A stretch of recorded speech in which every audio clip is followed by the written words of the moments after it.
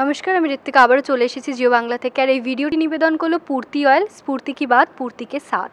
কথা হচ্ছে আমার শহর নাটকটি নিয়ে। আর এই নাটকে কিন্তু আরও দুই অভিনেতা অভিনেত্রীকে আমি আমার সাথে পেয়ে গেছি। আচ্ছা আগেই আপনাকে বলব আমাদের জিও বাংলায় স্বাগত। আর আপনার নামটা একটু দর্শকদের বলে দিন।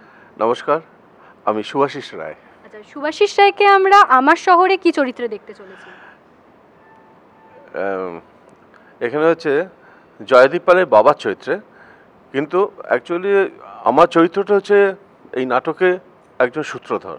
আচ্ছা একজন সূত্রধরের চরিত্র। হ্যাঁ। আচ্ছা একটু চরিত্রের সম্পর্কে দর্শকদের একটু কিছু বলুন কীরকম? আম, চরিত্রটাও বেশ কালারফুল চরিত্র। মানে বাবার চরিত্রটা।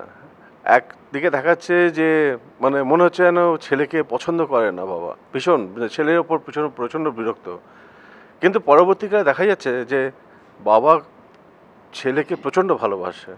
মানে ছেলের যাতে ক্ষতি না হয় যেমন ছেলেরা দুষ্টুমি করলে তো বাবা মা বকে সেই বকাটা কি ছেলের ভালোর জন্যই? মনে হয় যেটা সব বাঙালি বাবাদের মধ্যেই বর্তমানে একদম ঠিক ঠিক কথা বলেছেন। হ্যাঁ।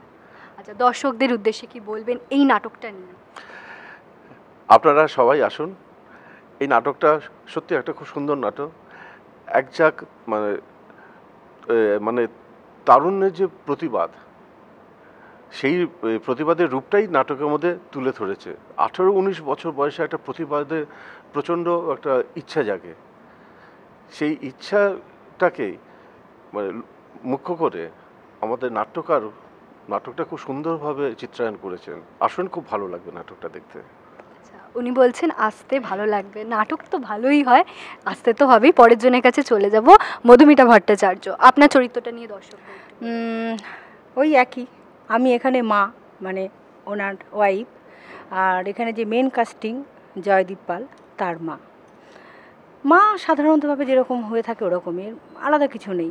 বাবা বকাবকি করছে কখনো ছেলের দিকে, কখনো বরের দিকে, এই আর কি। ওরকমই একটা মা। চেষ্টা করেছি ঘরোয়াভাবে মাকে ধরে রাখার। এবার দর্শক বলবে এইরকম একটা মা, এর বেশি আমি কিছু বলব না। দর্শকরাও তো মা।